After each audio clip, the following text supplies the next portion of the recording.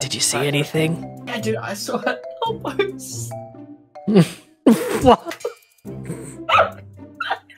Hey, stop judging my knees. They're not elbows. I just have weirdly bent knees.